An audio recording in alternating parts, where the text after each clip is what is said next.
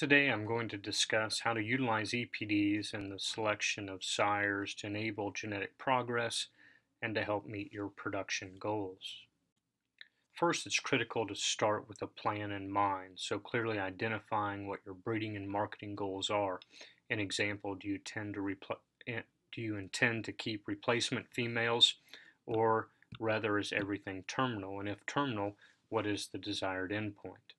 This helps you then identify what traits directly impact the profitability of your enterprise. We call those economically relevant traits or ERTs, those directly tied to either a cost of production or a revenue stream. And finally, you need to clearly identify any environmental constraints. Those could be in terms of land, labor, or available feed resources. Let's start with some fundamentals. Phenotype is really the sum of both genetic and environmental effects. We can further break that down and say that phenotype is equal to the mean of a given population plus an animal's genetic merit or their breeding value plus any environmental effects. So if we look at these two animals here who both have a 600 pound adjusted weaning weight, they both come from the same breed or population that has an average of 550 pounds, the animal at top has a positive 10 breeding value and the animal at the bottom has a negative 5 breeding value. So although they both got to the same adjusted weaning weight, they got there in vastly different ways. The animal on top because he was genetically superior, and the animal at bottom because he benefited from a, a superior environment. Consequently, when we're selecting sires, we want to select those who are superior genetically because it, because it is their genetic contribution that will be passed from one generation to the next. An EPD, or expected progeny difference, is really a numerical or a quantitative representation of the genetic merit of an individual as a parent for a given trait. In this example, we have five offspring from a sire all of them coming from different contemporary groups. And you can think of a contemporary group as really a combination of a herd, a season, and a year of birth of the calf. So the first calf, with a plus 30, was 30 pounds heavier at weaning than the average of his contemporaries. Three calves down was actually 10 pounds lighter than the average of his contemporaries at weaning. If we take an average of these contemporary group deviations, we wind up with a plus 10, which you can conceptualize as, on average, how much heavier this sire's offspring would be compared to their contemporaries. So, an example, if the breed average for weaning weight was zero of this particular breed, then you could say that this sire, who has a plus 10 EPD, on average, his offspring would be 10 pounds heavier at weaning as compared to the average offspring of the average bull from this breed. The other important note is, is that offspring of one sire exhibit more than three quarters of the diversity of the entire population. So another way of saying that is knowing sire accounts for one quarter of the additive genetic variation. So for producers that wish to increase uniformity of their calf crop, really using a cohort group of bulls that are full siblings or even half siblings does not necessarily do this. Instead, they would be better served to actually utilize bulls that are more similar in the EPDs for the traits that they're interested in. Here I've represented EPDs as only being uh, uh, estimated using progeny information, but in reality, other information goes into that calculation as well, including the individual's own record for that trait, as well as pedigree information, so information from their parents and also any collateral relatives, such as their half-siblings or full siblings. Unfortunately, EPDs are only directly comparable within a breed. The U.S. Meat Animal Research Center, or USMARC, publishes on an annual basis a table of additive adjustment factors that can be used to adjust EPDs to a common Angus space. You'll note here that some breeds have a gap or a missing value for some traits, and that means the breed either does not publish an EPD for that trait, or the trait they publish is on a different scale. An example for marbling, some of these breeds may publish an intramuscular fat percentage EPD instead of a carcass marbling EPD. These values, again, are updated annually, and current values can be found at the Beef Improvement Federation website. Here's an example of how these may be used. Let's assume we wish to compare a Simmental bull to a Hereford bull for the EPDs of birth weight, weaning weight, yearling weight, and milk. In this example, we could use the adjustment factors from the previous slide to add to the EPDs of these two bulls. And after we do so, we could then fairly compare them. You'll see that the, both bulls had an EPD within their respective breed association of 25 for milk, but after we apply the adjustment factors, you can see that in fact they differ substantially for this particular trait. That's why it's important if comparing bulls of two different breeds to use these values to ensure you're actually making the correct comparisons. All EPDs are published with an associated accuracy value. Those accuracy values can range between 0 and 1, zero meaning we have no information to actually inform the EPD, one meaning we have complete information we know it uh, without error. In reality, neither is ever the case, and in fact, accuracy always ranges between 0 and 1. The accuracy value we use is beef improvement or BIF uh, accuracy.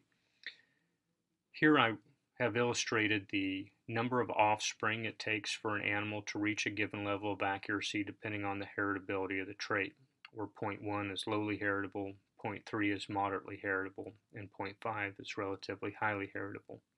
So you can see for a lowly heritable trait such as reproduction, for a sire to be high accuracy, so accuracy of 0.99, he would need 3,800 daughters in production with that fertility trait recorded. The benefit of having early information is to enable more accurate selection decisions before a bull ever has offspring, and we can do that now through the use of genomics. So genomically enhanced EPD actually benefit the commercial producer by helping mitigate the risk of having made the wrong selection decision. Another way to think about accuracy is possible change. Most breed associations publish a possible change table so these values are dependent on the breed and also dependent on the trait. You can think of these possible change values really as standard deviations. So in the next slide, I'll show you how to utilize them.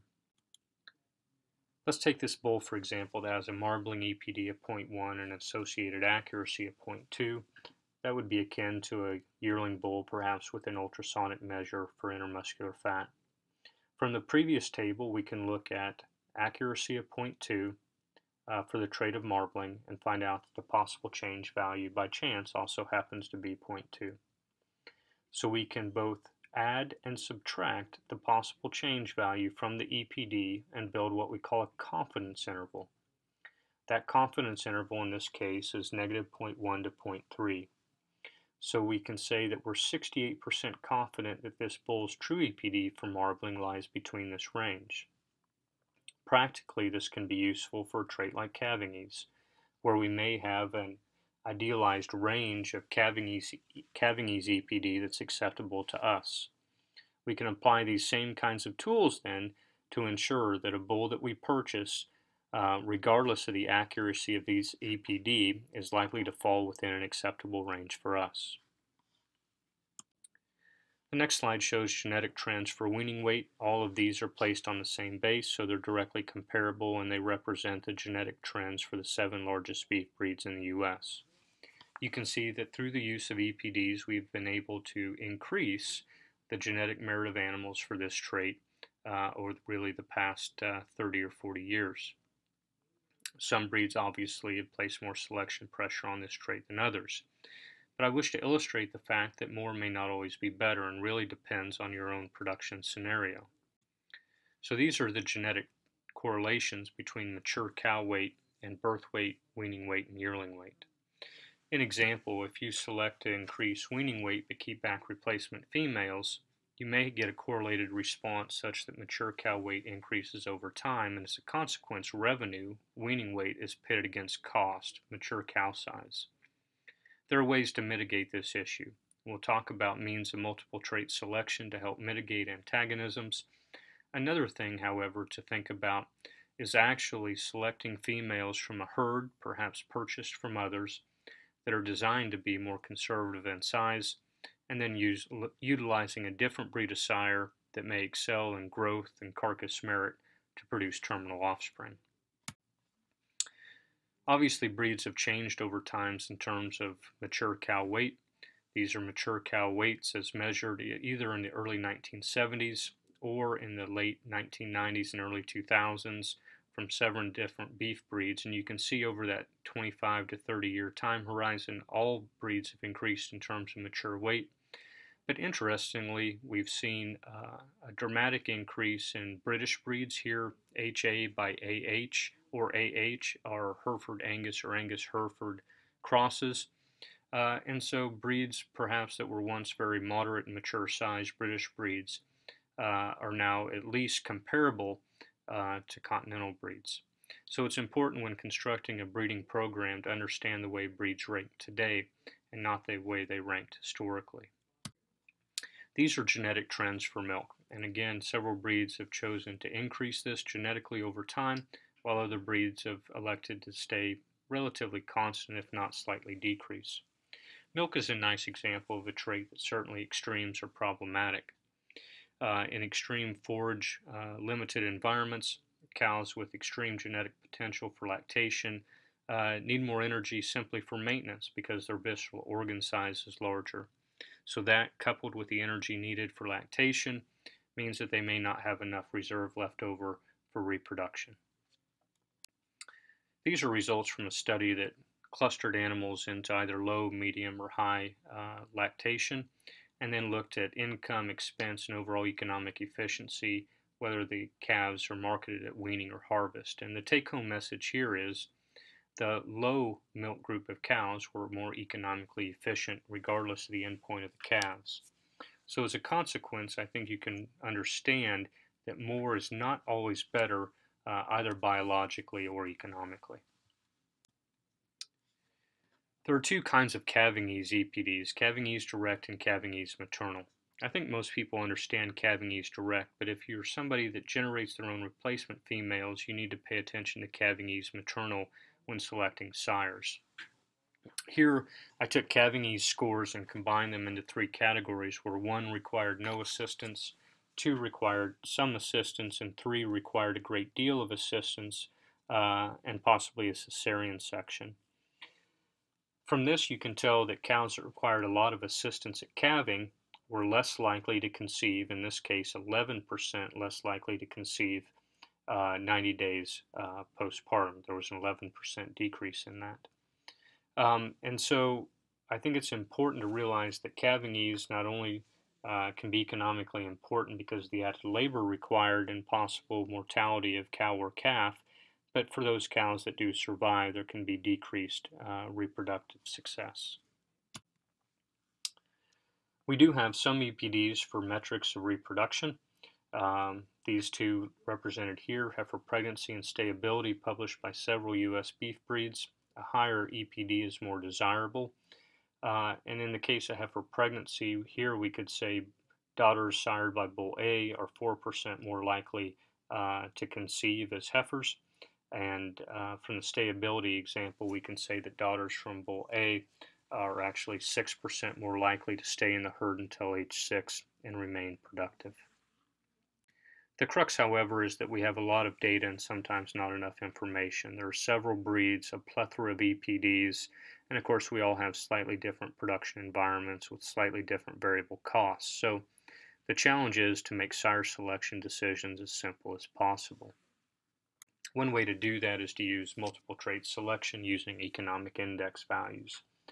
An economic index is a collection of EPDs relevant to a particular breeding goal multiplied by their relative economic importance. So an example, if you are a terminal producer who uh, retains ownership through the feed yard and markets towards some kind of value-based grid, traits in the index uh, for you may include things like post-weaning growth, uh, carcass weight, quality and yield grade, feed intake. But that would be dramatically different if you sold at weaning and retained your own replacement females. Here I have numerous examples of indices published by several different U.S. beef breeds, and I've delineated them as either being terminal or maternal in nature. Terminal are those that assume no replacement females are retained, and maternal um, or maybe general purpose realizes some offspring will be marketed while others will be retained as replacement females. So it's important to clearly understand what your breeding goals are so you can use the correct index and avoid un any unintended consequences. Here we have an example of how an index may be used. This is from Gelbvieh's Dollar Cow Index, a more general purpose or maternal oriented index. And so if we assume these two bulls are going to be bred to 30 cows per year over a four-year time horizon, that's 120 exposures over their lifetime. We can multiply the number of exposures by the value difference in their indexes and determine an estimate of the profit difference uh, between those two sires for our particular operation. This holds if you follow the assumptions of the index in terms of the breeding goals assumed. If we wish to increase the profit difference between these two sires, the way to do that is to increase the number of exposures. So if you're a commercial producer, that may mean um, being able to custom collect him and breed him to more cows via AI. So it's important to focus and identify on those traits that are economically relevant to your given operation. And know that EPDs and economic index values are more valuable than an animal's own actual weights at generating response to selection or change. And in fact, research has shown that EPDs are seven to nine times more effective in generating response than selecting on an animal's own weight. So some helpful resources, the UNL Beef Production website, the National Beef Cattle Evaluation Consortium website, beefefficiency.org, which focuses on genetic and genomic tools to improve beef efficiency, and ebeef.org, a website that focuses on uh, all things beef cattle genetics um, and designed for use by producers and extension personnel.